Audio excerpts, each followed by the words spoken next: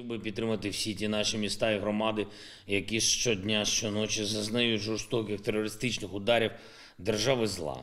Наша Херсонщина і Херсон, якому окупант мститься за свій програш.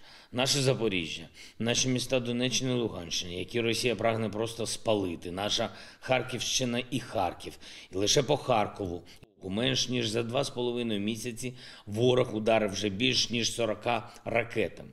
Нікополь, Марганець, наша Дніпропетровщина, наша Сумщина, наша Чернігівщина, ракети і артилерії, безпілотники і міномети. Держава зло використовує різну зброю, але з однією метою, з метою знищити життя і не залишити нічого людського, руїни, уламки, воронки від снарядів у землі. Ось це автопортрет Росії, який вона малює там, де без Росії панує нормальне життя.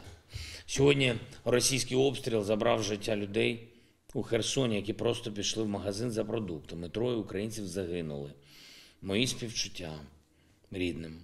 У Запоріжжі російська ракета вдарила по об'єкту життєзабезпечення міста. В прикордонних районах окупант обстрілював села, щоб залякати людей, щоб прогнати людей. Але Росії там не буде. Вона стала синонімом терору і стане прикладом поразки і справедливого покарання за цей терор. Покарання, яке Кремлю не зупинити.